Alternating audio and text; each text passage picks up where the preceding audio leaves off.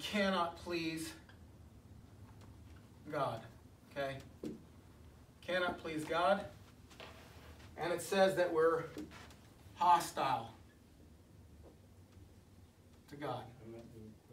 Hostile means we have an enmity, we have a hatred towards God. Okay? All right. Turn to 1 Corinthians chapter 2.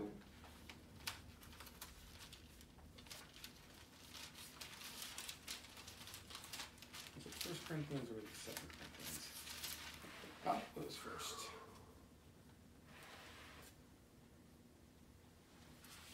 In verse 14, it says, The natural person does not accept the things of the Spirit of God, for they are folly to him.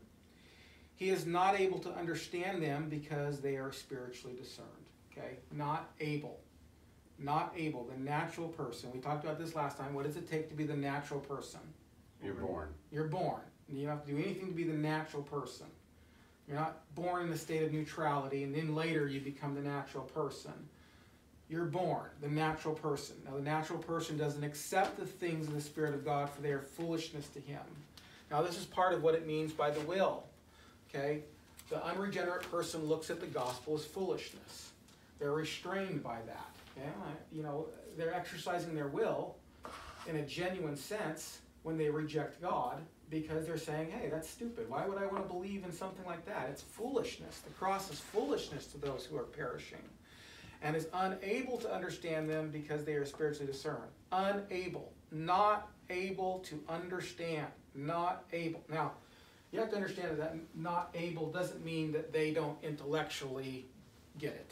Okay, I mean, an unbeliever can intellectually know what you believe. Yeah, you believe that this guy Jesus lived this perfect life and died on a cross, and it means he doesn't get it. He doesn't understand what you're so excited about. He didn't. He, it's not. It doesn't even appeal to him at all. He's unable to understand what you're going through. He's unable to identify or relate to you in any significant way. And we looked at the term flesh, and we said that the term flesh means what in Scripture? The nature. Nature. It means the The nature. fallen Fallen nature. human nature. Fallen human nature. For the most part, that's that, it does not 100% always used that way. Sometimes it does mean meat, but it's not the meat suit that does the sinning. Remember, Jesus had a body. Jesus didn't sin. We will have a body in heaven. Our, we will be without the nature to sin. And in John chapter 3, and verse 5, it says, Jesus answered, Truly, truly, I say to you, unless one is born of water and the Spirit, he cannot enter the kingdom of God.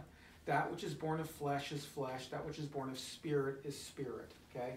That which is born of flesh is flesh.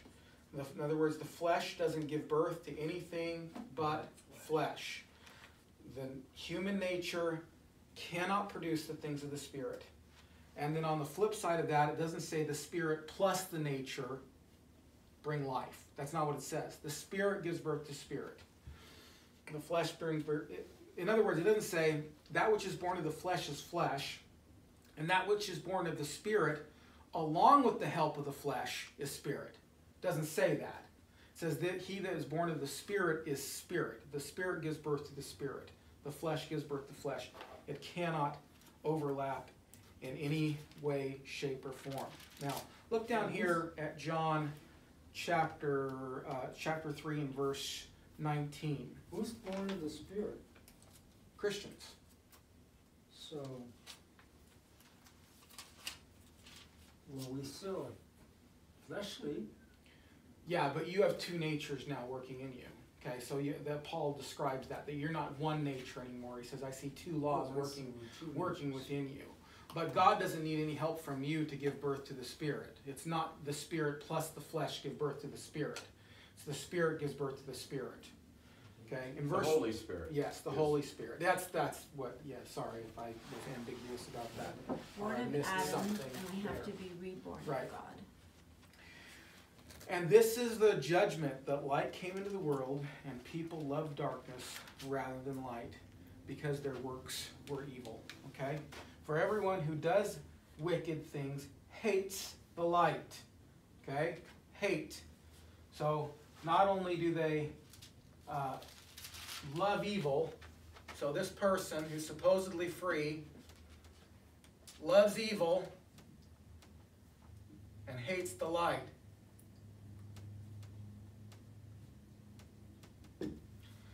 He loves evil and he hates the light. So this is kind of cramping in on the idea of freedom, right? I mean, do you understand that this is kind of we're kind of whittling down this idea that we're free to cooperate with God or reject God when God pours out his grace. And that's due to the fact that we're dead. We're not sick, we're dead. And a dead person can't cooperate, a dead person needs regeneration. Um, so we're not free. And furthermore, it says here in John chapter 6, 644, just write it down because we went through all these last week and I'm going to What do was it again? John 644. No one can come to me unless the Father who sent me draws him. Okay? So no one can come. Now, the unless the Father who sent me draws him, we'll talk about that again. I talked about that last week, but we'll talk about that again when we talk about um, irresistible grace. Okay? Uh, but no one can come. All right? No one's able to come.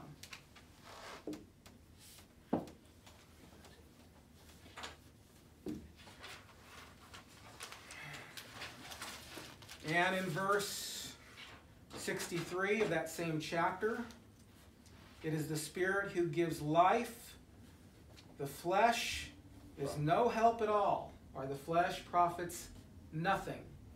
The flesh profits nothing. No thing. Okay? I like the way R.C. Sproul does this. He does these little, his little R.C. Sproul voices. Nothing isn't a little something. Okay? And when we say nothing, we really mean it, the Bible means nothing. It doesn't mean a little something. And what the Arminian wants us to believe is that little something is the pivot point between salvation and damnation. Mm-hmm. So what they mean by a little something is really everything. But the Bible doesn't say you, you, you get everything out of this. It says you, nothing. Your, your will, your fallen human nature contributes nothing. It can't. It's rendered paralyzed. It's rendered paralyzed. We hate God, and in John, and in John chapter um, 8 and verse 34, it says that we're slaves. Did you say First John? No, John. just John. Gospel of John says we're slaves in verse 34. Truly, truly, I say to you, everyone who practices sin is a slave to sin. And he needs the Son to set him free. It says the Son sets you free, you're free indeed. Not the Son and you. Mm-hmm. Say, now if the Son and you set yourself free, then hey, you're free. The Son has to set you free, and then you're free indeed. And in verse 43, it says of that same chapter, why you do not understand what I say is because you cannot bear to hear my words. Cannot hear. Seems pretty clear to me. Well, if somebody wants to say that in that the fallen human nature cannot please God, is hostile to God, thinks that the thinks that God that the things of God is foolishness, loves evil, hates light, cannot come, can do no thing, is a slave, and cannot hear, and still want to say, Well, I'm free, is the height of delusion. Okay, that's the height. That is the height of delusion. Height. Yes. I probably say this every single time, but um, like to me, it boils down to: is your God sovereign or Yeah. not? hmm Sovereign means sovereign. It doesn't mean that you get to have a little bit in there. it's like sovereign is sovereign. And and uh, the idea of uh, I think I said the first week too, and just to reaffirm what you're saying is that the uh, the whole idea of Calvinism is really based on two points, implicitly and explicitly stated in the Bible. It's not just all implicit; it's it's explicit as well, and that is is that God's sovereign, and that we're in total need of God's grace. We're not in just a little bit of need of God's grace. We're in total need. Yes. We're in Yeah, total need of God's grace, deaf, dumb, blind including our will, our including our will. God grace. Now this is, now what they want to do is they want to separate this nature, the nature that you have from from will, okay, from your will. That's not the case. This is not looking at this thing properly. You do what you want to do. You do what your nature dictates that you do. You don't have, we've used this as a, an example for salvation before, but it's the same as far as your will is concerned. You don't have will in the sense that I have a, a, a wallet, you know, it's like I have my mind, my emotions, and my will. No, you, you will to do what your mind and your emotions tell you to do. That's what your will is. You are a being who makes choices, okay? And those choices aren't independent, aren't separated from your nature, okay? Your nature dictates it. So you look at a guy, and let's say he's a crazy, deranged individual, and he's off chopping people's heads off, okay? He's hmm. out there chopping people's heads off. Now, would you go to him? This is like working backwards. Would you go to him and you'd say, Now, look, mister, if you just stop. You know, if you just, you know, you could be a normal person. No, he, he's chopping people's heads off because his mind and his emotions are driving what he wants to do. And you never do, this is one thing you have to understand, you never do ultimately what you really don't want to do. You always act in accordance to your nature, to what you want to do. Okay, so, Even when he hypnotized, I've heard. yeah. So somebody might reduce your choices to two. Somebody might pull a gun on you and say your money or your life. Okay? Uh, but even in that situation, if you choose to give them your money, you're basically saying, I value my life at this point in time, I value my life more than I value my money. Therefore, it renders my decision to give that person my money. I'm not saying that all things are equal, okay? Not all things are equal. But in any given circumstance, you say, Well, I don't want to go to work. We'll say this all the time. Used to have this conversation at work. So, well, I don't want to be here. I said, Well, then why are you here? So, well, I have to pay my bills. Then Okay, you wanna so be here, cause you want the boat. Right. You want to, your desire to, to pay your bills outweighs your desire to stay home. You always do what your nature says to do, and you're always restricted by what your nature says to do. So, your nature restricts you. So, you're not free to do what God says you can't do. Okay, that's, that's just basic logic. You're just free, not free to say what God says you're not free to do. Now, again, uh, we don't look like we're under compulsion. You know, you came here freely, you came here. Now, on occasion, God even overrides those, those decisions. Sometimes God steps down in history, and I've heard this a million times from, well, I'm slightly exaggerating, from pastors that say things like, well, God's a gentleman, and he would never interfere with what you want to do. And all Jonah. stuff. I, and I always think of the example of Jonah. I mean, that's a perfect example. Did God respect Jonah's decision? He says, Jonah, you're going to go to uh, Nineveh. And he says, No, I'm going to Tarshish. And God goes, Oh, I'm going to respect. I'm going to respect God. I'm going to respect Jonah's free will Because he's a gentleman. he's a gentleman. No, he said, No, Jonah, I'm going to make you want to go. Okay. Now the You said you live, you told the Lord you'd live anywhere but Utah. I said I would live anywhere but Utah. And here for Zero. famous last words. six years, Right. seven years. Right. The other example Was he vomited Is- into Nineveh? on the shores, I think it says. Um, uh, the other example was that of which we started with reading with Nebuchadnezzar. Nebuchadnezzar was getting haughty, and he said, "Hey, look, I'm going to humble you." He didn't respect his free will. He didn't respect his decision. When Nebuchadnezzar came out of it, he said, "God's in heaven. He does what He wants among the peoples of earth, Like not what Lived in I- a cage and ate grass. I yeah. Not what I wanted. He didn't say, "Hey, look, you know, what do you what would you like to have happen to you?" God said, "Hey, this is what's going to happen." Now, probably the grace example of this all in in terms of salvation is the apostle Paul. The apostle Paul was on his way to kill Christians. He was had letters from the synagogue saying that he could do such a thing. And God didn't woo him. He didn't say, "Oh, come on, you know, you really want to." Isn't it so much better? Can't you see the arguments for the for for the uh, historicity of who Jesus is? And he just he knocked him off of his horse.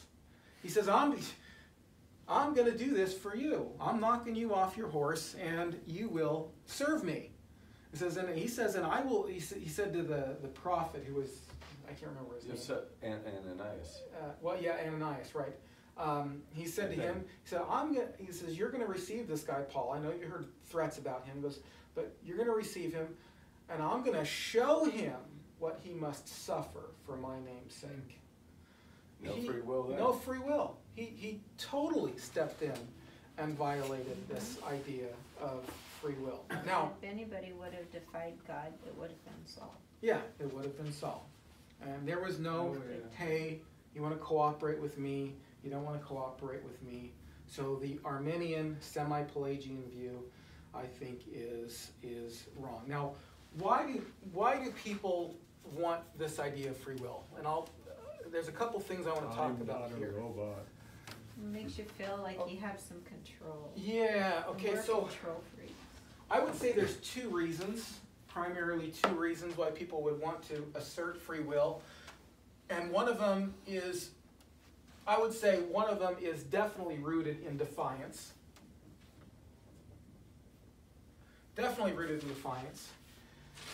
And the second one may or may not be, okay? The second one may or may not be. What was the question? Why would what? Why would somebody want to believe in, in, in, in free will? Why do they demand? Uh, it, it's, it's at least a higher view, but I'm not going to, uh, I'm not going to judge the motives. Uh, and that is, is that uh, they want to free, free God from sin. In other words, it's an answer to the sin problem that we all face in this world. You know, like if God's sovereign, then why is there sin? That kind of thing. Okay, so, Okay, so. that didn't make sense, but now it does. They So want to free God from the accusation of sin. Right. Sorry, I should So- say that. From the accusation Yes, of sin. because everybody's like, if there is a God, then why, Why you are know, these why are little babies dying? Right, right.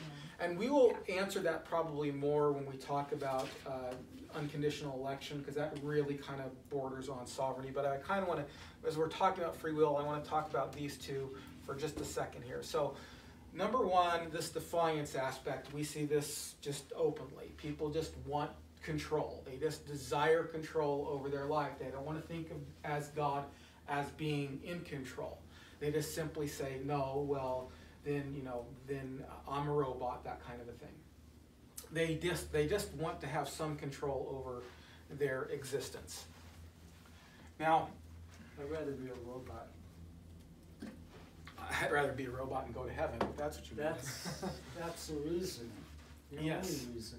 So, this one is is some people have come up with elaborate arguments for freedom, and their motive is to eliminate God uh, or um, have God not be accused of sin, you know, or, or evil doing. And so they interject the idea of free will. So they say, well, you look at this thing that happens, this guy killing these people or whatever, and they say, well, wouldn't that you know wouldn't it be easy then if god could if we just shove this off under the responsibility of man? Well first of all it is shoved off under the responsibility of man. Second of all is free will doesn't solve the problem it adds an extra layer. So some you're walking along the street right? Somebody um, pulls a knife out Hmm. and goes to stab your wife Ooh. Good luck with that. what would you do Step back and watch your kid. Watch her have at it. Watch her have at it. Okay, all right. But if she didn't know any Average martial Joe, yeah, I Then would, I'd I would, them. you would shoot him, right? Yeah. You would shoot him. Well, I, yeah. yeah, I would defend her. Okay, so let's say let's anybody probably would. What's let's say I had that situation and I didn't defend Joyce at all and I just let her get stabbed to death. And somebody came to me and they said, "Well, you know martial arts. You know, are you a coward?" What? And I said, "No, I'm not a coward. I've got to respect that person's freedom." Whoa. What would does that solve the problem? No. No. As a matter of fact, it It's just It eggs, it, it eggs the problem. it eggs the problem on. And so mm-hmm. we will talk a little bit more about the um, freedom of the responsibility of man, the freedom of man, and the sovereignty of God, and how that relates to evil, probably in lectures to come. But right now, what I want to show is that God saying, "Oh, that I got to respect free will," doesn't doesn't resolve God from evil. Okay, it doesn't resolve God from evil. it sounds nice. Oh, God doesn't, you know, God lets people have freedom because He wants people to genuinely love Him and they go on all these arguments. But that doesn't solve the problem at all. That, that person's just not really thinking the situation through. That just means that God cares more about, uh, you know, free will than He does not stopping sin. Yeah, that's all it does. So those two reasons right there, I think, are the two main reasons. It's just one is just defiance. People just want control over their existence. They don't want to think of God as predestining them or them not being able to have control over their life. The higher one sometimes comes as a result of trying to um, excuse God from evil, but it doesn't excuse God from evil. It just adds an extra problem that they haven't thought about. And it adds an extra problem which isn't even mentioned in the Bible. The idea of free will is not mentioned in the Bible. As a matter of fact, it's clearly spoken against. I think it would make people feel better as to that age old, why do bad things happen? Yeah, that's that's why is that they'll Yeah, say, well, this It makes adds, them feel better. but they're just not thinking it through. They're not thinking. Just like if somebody and I, well, I gotta respect their freedom, right? I'm a good guy. Gotta respect somebody to stab my wife, right? Yeah, You you'd think I'm more evil, especially if I could stop it, right? well, definitely. if you could. Free free will doesn't solve the problem. Okay, all right. All right, so that objection's answered, and then from this objection, I kind of want to go into one other objection that people have as a result of this. And that is, and that is, if God, okay, so let's,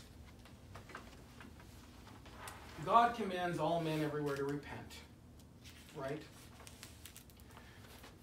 You cannot repent on your own without being reborn of God. Then is it unfair that God commands, That which we're not able. yes, commands, that's the, the objection that flows from this. Did you say you cannot repent without being, um, without being born of God? Yes. Yeah. Just like in uh, Timothy, where it says, you know, pray that God will grant them repentance to come to faith. Repentance has to be granted. So, yeah, it has to be granted or as a result of the new birth. So this is again the the not fair kind of argument, but a little bit differently. Okay, so uh, he commands that which we are unable or incapable of doing. Now, first, the first thing I want to say to this is that this isn't anything new. First of all, God commands all kinds of things that we're not capable of. Yeah, As a matter of fact, God commands Don't that lie. you be perfect. don't steal. Not, yeah, I mean, in totality, He commands the whole law. He puts that on you. Every failure of that isn't just a, oh, well, I couldn't do it, therefore I'm resolved of the issue. Mm. Doesn't resolve the issue. It just means that God is holy and He commands unholy creatures to do things that they don't want to do. Now, the other uh, example of this, and this is um, God commands, God didn't lower His standards when, when Adam and Eve fell into sin. Okay? He didn't lower His standards. No grading on a curve. Yeah, when Adam and Eve fell into sin. So, Ans, I think it was Anselm, uh, likened it to this. Okay, so here's here's man. Okay, here's the garden over here.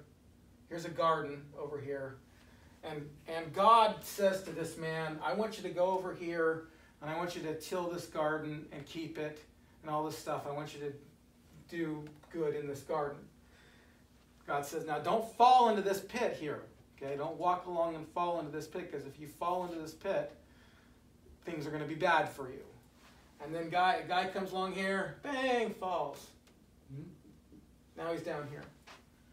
And God says, Why didn't you do what I commanded you? And the person down here says, I couldn't. Now, in the condition of the pit, he can't. It's true. Let's just let's for argument's sake that to say that the walls are slippery, he doesn't have a ladder, it's too high for him to get a rope, he can't call for help, you know, all those things that you think of. Let's say he exhausted all that stuff. Does God come along then and say, Oh, all right, well, I guess you couldn't. So I guess The garden doesn't matter then, and all my standards for what I wanted you to do in the garden now don't matter. Does he do that? No, he doesn't. The guy is in the pit because of his own choices. Okay. Now, I, I, I we will God get back to doesn't this. Yeah, but things if off he doesn't our see ability. pit- Oh, he does. Oh, he does. That's the, And that's God- the well, problem. God God, said, him, "Don't go into "Don't the go pit. fall Oh, into the that's pit." right. Don't go fall into the pit." Right. So now, God's not going to yeah. do what's unjust. Now, He may do stuff that we don't understand how He works it all out, but He doesn't do anything that's unjust. Now, He's not dependent upon our ability to the nature do something. does does God ask blind men to see? no. Does God ask deaf men to hear? No. He asks blind people to look. He asks deaf people to listen. Can a blind man look and listen? Yeah, they can look. They can't see anything, but they can look and they can listen. But it's God who has to regenerate and give them the eyes in order to, in order to see, in order to see and, and, and in order to hear. Now, the nature of our blindness is that we have plucked our own eyes out. That's the nature of our blindness. If you pluck your own eyes out, you can't very well be mad if somebody's upset at you for not seeing. Because you did it to yourself. Okay? And this is what I mean by genuine will, and this is what I mean by not under compulsion. In uh, other words, when the unbeliever doesn't doesn't look at God, he say, "Look over there." It's like, it's like, I don't want to look over there. The restraint comes from his fallen human nature. Okay, so the restraint comes from his fall. Now I'm gonna get to the point where God does write the script anyway. Did Samson know that his eyes would be plucked out uh, when he was playing with Delilah? I don't think he knew. I hope not. That would be pretty stupid. That would be pretty dumb. Doesn't say that he knew. I don't know why. He, I don't know why he wouldn't have caught on that something bad was going to happen because he kept telling Delilah that, oh, if you, you know, if you tie my hands with a special rope, then, and then so she ties her hands with the special rope and he breaks free and he, you know, he, he so I don't know why he wouldn't have known that eventually one of those things would have caught up to him. Yeah. But, oh well, what do you do? Pride. Yeah, pride. Pride. Okay. So now we have this objection specifically answered in Romans chapter 9. Because there said, then God's not fair. If he asks us to do what we can't do, then God's not fair. Now, number one, the reason we can't do it, yes, it does have to do with the, the eternal plan of God, but God didn't predestine it in such a way that it's beyond what you wanted to do.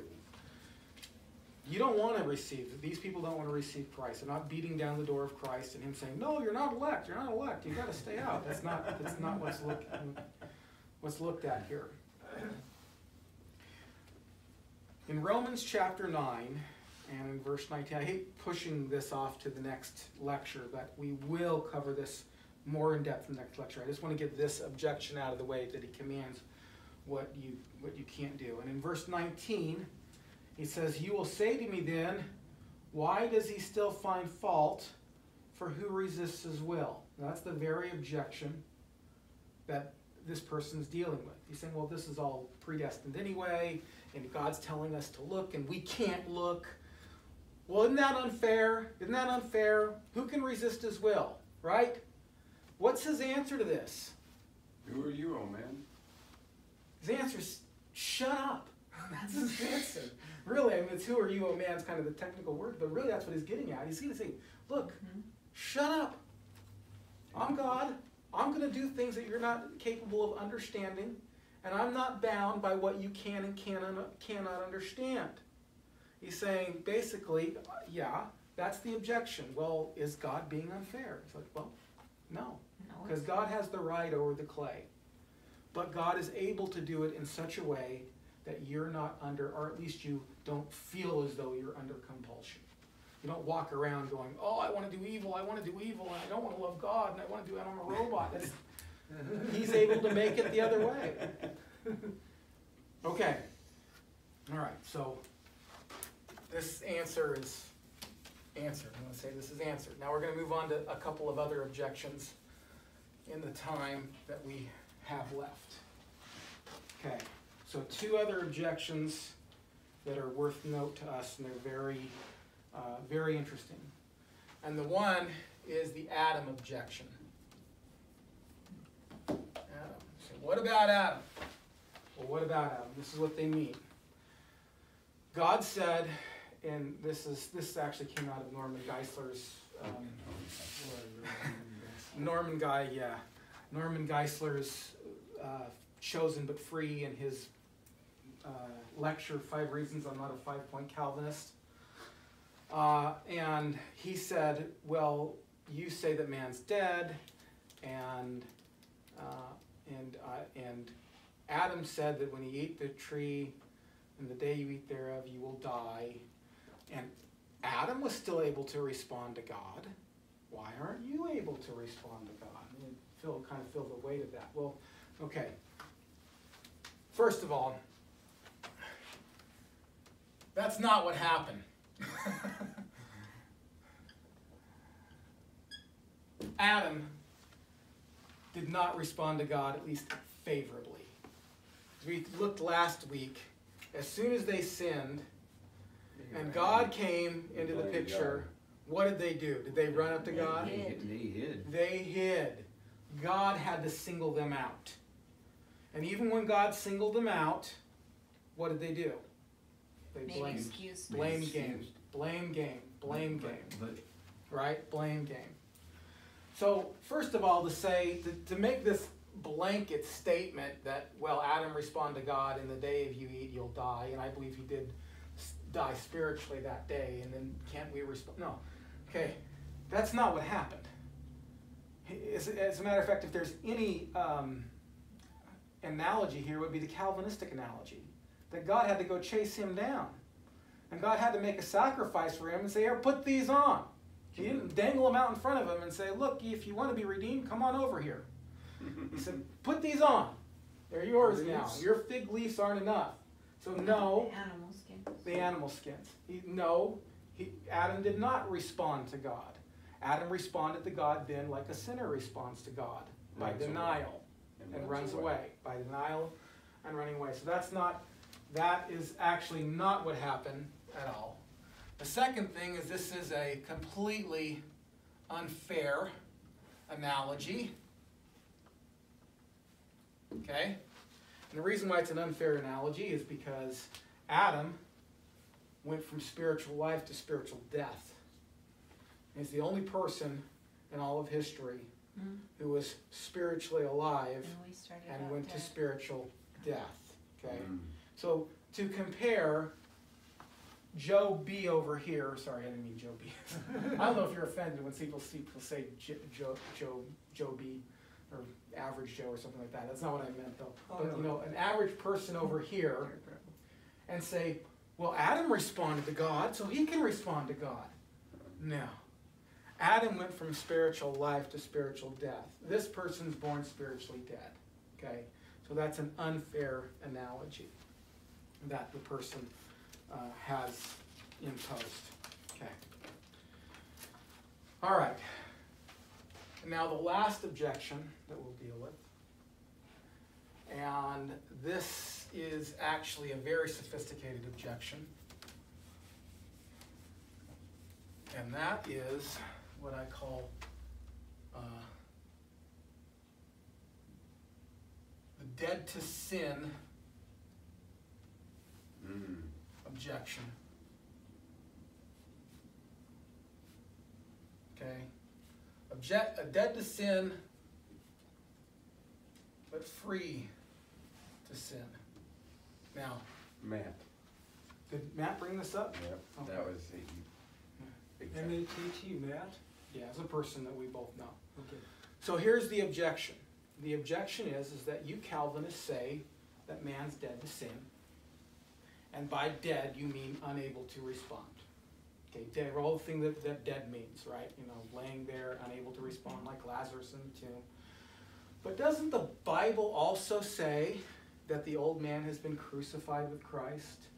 and that uh, uh, and that you are uh, no longer slaves of sin, that you're de- that you died to sin.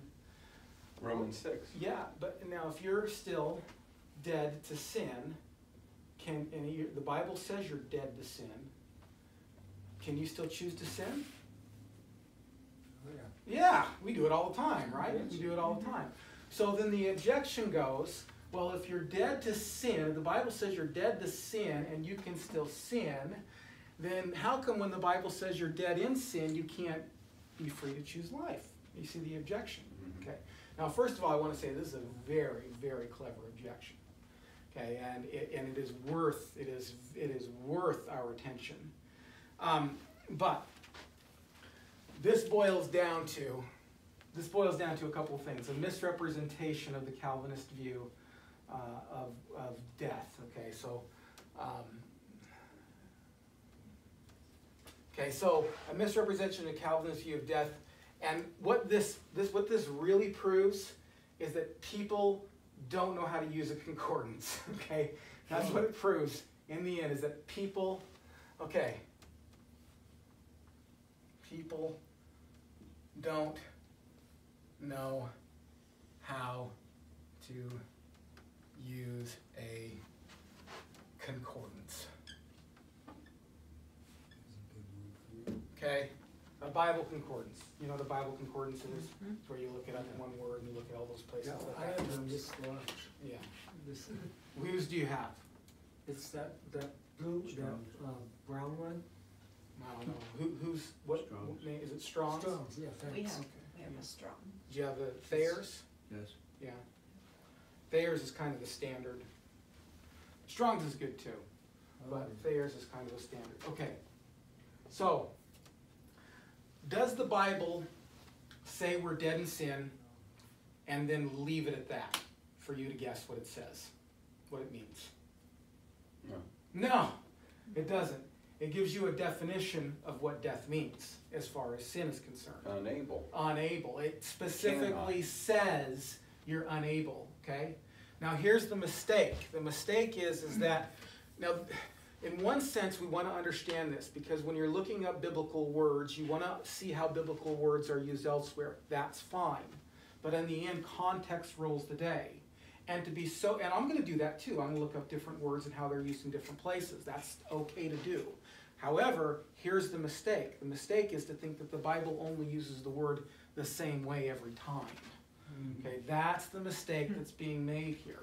The Bible doesn't use the same word the same way every time any more than you use the same word every time.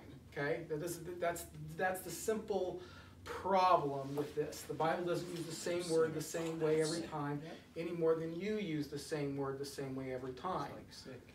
We just had this conversation I'm two sick. days I don't feel well. Oh, that's sick. Yeah, right. The context rules the day. Now, the context of death, when it comes to the Calvinistic view, specifically means and says unable to come, cannot respond. It specifically says that. Does it say that we're dead to sin? Yes, it does. But what does it mean by that? What's the context of that? The context is twofold. One, it's proleptic. What's proleptic? Okay, so first of all, the Bible uses the term death of dead people, too, right? Lazarus was dead in the tomb. Mhm. Is that the same thing as dead in spiritual, spiritual trespasses? No. No.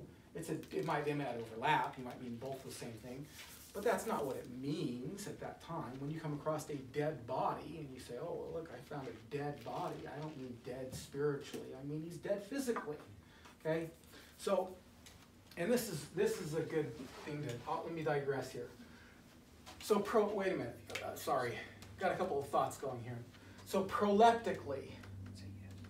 Say thank you. Pro- proleptically. What's proleptic mean?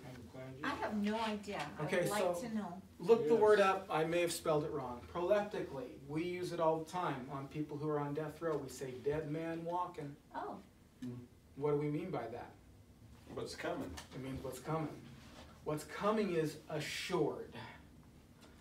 But it doesn't mean that he's dead yet. Okay? That's assured that he's going to die. And when the Bible uses the term that you are dead to sin, it means that proleptically. It's not talking about a current state of reality. Now we know this And here's the other problem with this, Because of Romans seven. we, right, is that we don't have one nature. Mm, We have, what do we have? Two. Two natures. Now let me say this, and this might shock you. The new nature, we have a new nature and an old nature, right? Yes. Okay, the new nature is dead. And I mean that it's the same way over here. The new nature, and this is how I know this. If you only had the new nature, would you ever sin? No. No. The new nature is dead to sin. I wouldn't be born of Adam either. Yeah, well, I mean, if you're born again, yeah. you- you- I know what you The, the new nature is dead to sin. It is irreconcilable. It's not the new nature. That's- Paul says, I see two laws at work in me. It's not the new nature that's, that's alive to sin. That is dead to sin.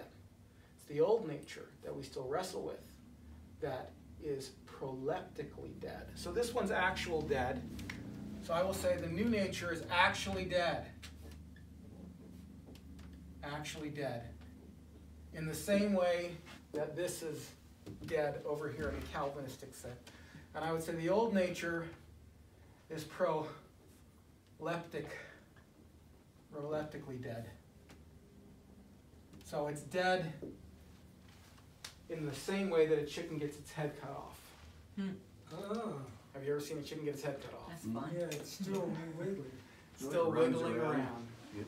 It runs around, but its death is certain. It's dead, so dead that it can be called dead, uh, even though it's still Eminent.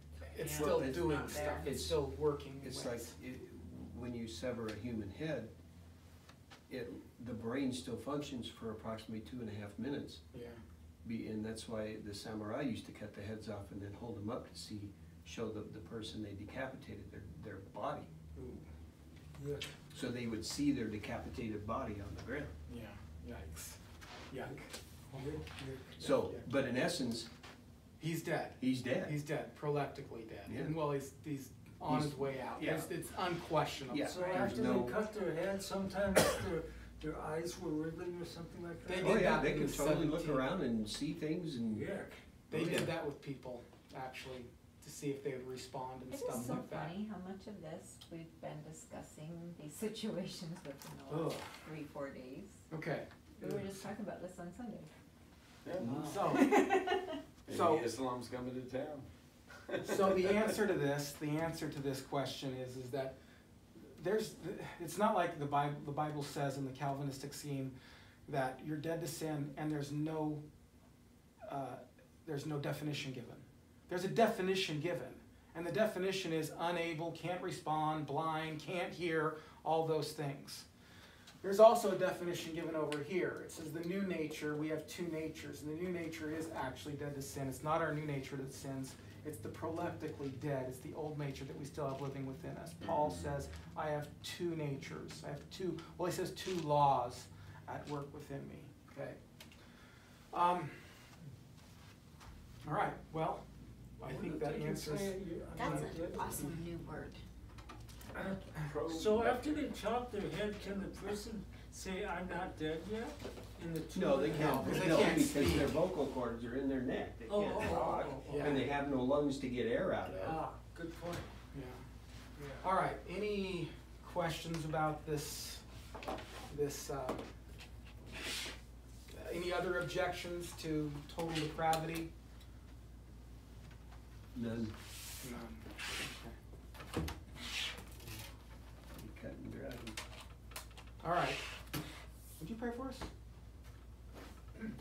Father God, thank you for this uh, beautiful evening and for this uh, study and this lesson. And Lord, let us just take your words and uh, put them into our lives and understand them and, and not be uh, so willing to just go with the flow, but be willing to look at your word and what it truly says. And Lord, we just praise you for the opportunity to be able to come together. It's in your name. Amen. I can't stay long. I gotta get moving. Oh?